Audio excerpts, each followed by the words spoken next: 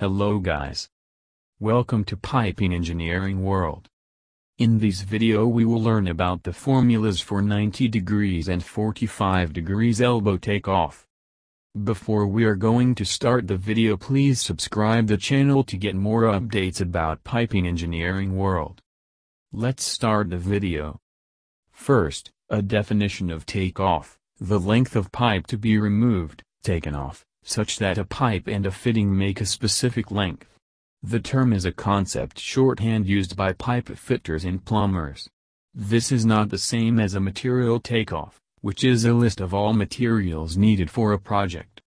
Takeoffs in general are specific to pipe construction, PVC, copper, etc., and is a function of diameter. And the function of a elbow is to change direction or flow in a piping system. By default, there are five opportunities, the 45 degrees, 90 degrees and 180 degrees elbows, all three in the long radius version, and in addition the 90 degrees and 180 degrees elbows both in the short radius version. Now let's find the takeoff for 90 degrees and 45 degrees long radius elbow. This is the formula for to take off for 90 degrees elbow.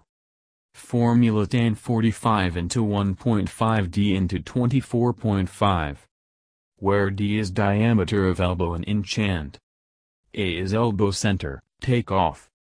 When we calculate with the help of a scientific calculator, enter diameter of valve in inch as the given formula show in picture.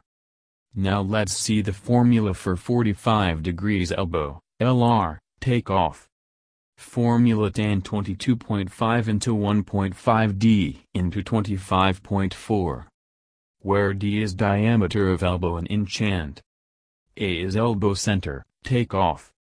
For example 4 inch 45 degrees elbow takeoff calculation.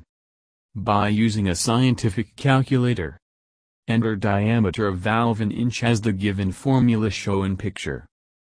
Thanks for watching the video please subscribe this channel to get more piping engineering update and information.